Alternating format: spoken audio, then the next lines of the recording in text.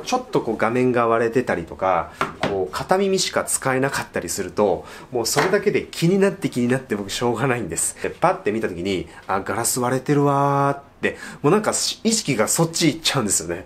どうも、ショッピンです。今日も動画をご覧いただきありがとうございます。今、あの、外ちょっと出てみたんですけど、気温が3度らしいです。寒いです。しかもあの、今日8度までしか上がらないそうなので、うん、まあなんか冬に戻っちゃったなという感じがします。まあ、ちょっと三寒四温の季節が続きますけども、あなたはぜひ風邪をひかないように、えお過ごしください。まあそれは当然か。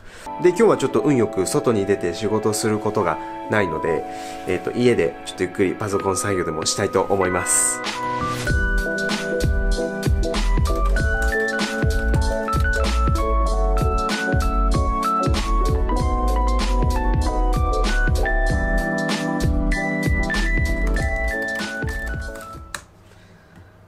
そうだ音楽でも聴くか。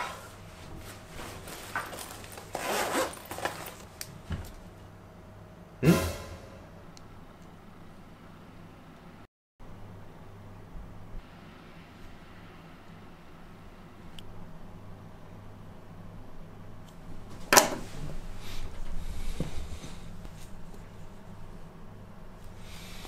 入ってない。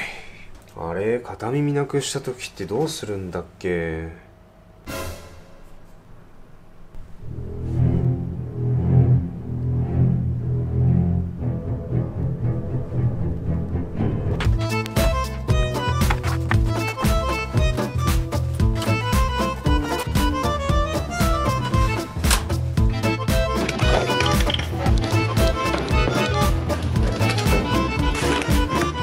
いや寒いっすね。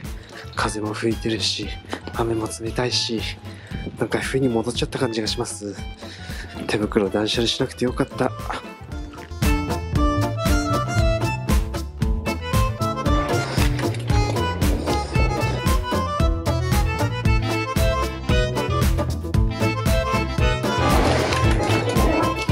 はい秋葉に来ました。寒い。うわ、レクサスの LFA だ。いくらでしたっけ ?2500 万とかでしたっけ？うわ、いかつ。お、ハトちゃん。いやいや、そういえばハトちゃんたちって雨の時どうしてるか分かんなかったんだけど、普通に雨ざらしなんだね。ということで、ちょっと今からアップルの方に行ってみたいと思います。といっても100%正規ではありませんけども、そうそう、ここに行きます。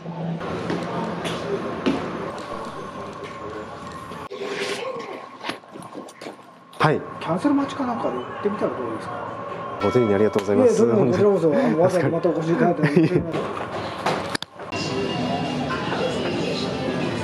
ということで完全正規のお店じゃないと交換できないということでしたじゃあ次は iPhone の画面修理いきましょう次はここで終了してもらいますあ iPhone 修理ありましたちょっとあの在庫確認していただきたいんですけども、はい。あラスト2個。わかりました。じゃあちょっと1個後で取りに行きますので、はい。よろしくお願いいたします。はい、失礼いたします。はい、ありました。はい、じゃあ今から新宿に移動です。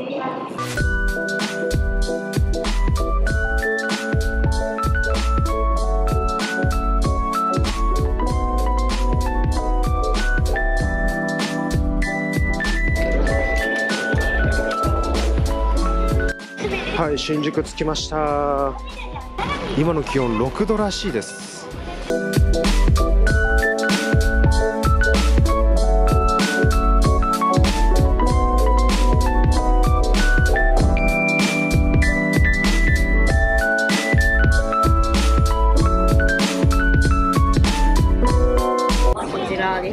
はい、ありがとうございます。ありがとうございます。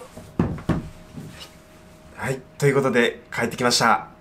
はい、こんな感じで美しく蘇りました。えっ、ー、と、30分の公費で料金は5480円でした。えっ、ー、と、やっぱ 6S っていう昔のモデルなので、それだけ安くガラス交換できたんだと思います。あと、イヤホンなんですけど、結局 AirPods を買いました。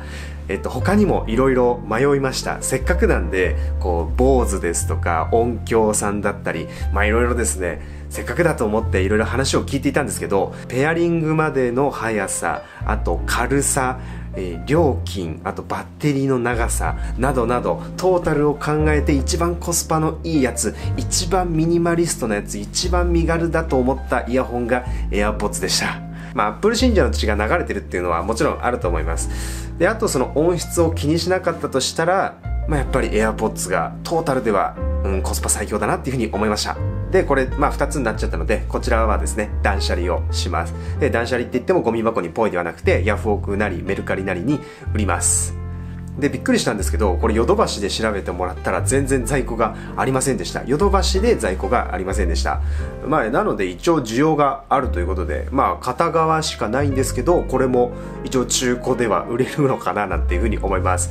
はい、という感じでやってきましたけども、いかがだったでしょうか？まあ、そもそもこの動画を見ているあなたはですね、なんかそんな、えー、1日かけて作業するなんてもったいないじゃないかっていうふうに思うと思うんですけども、あの、やっぱこう、ちょっとこう画面が割れてたりとか、こう、片耳しか使えなかったりすると、もうそれだけで気になって気になって僕しょうがないんです。まあ、というか気になっちゃったらしょうがないっていう感じなんですけども。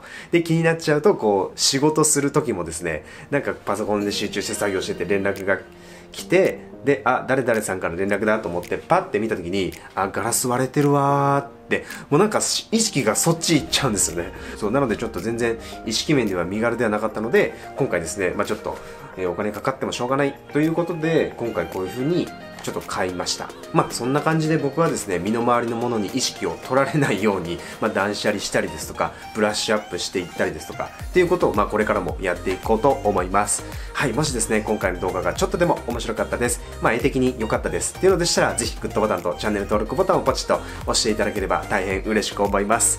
はいまあこれからもブログスタイルでやっていきますのでよろしくお願いいたします。ということで今回も動画をご覧いただきありがとうございました。また明日。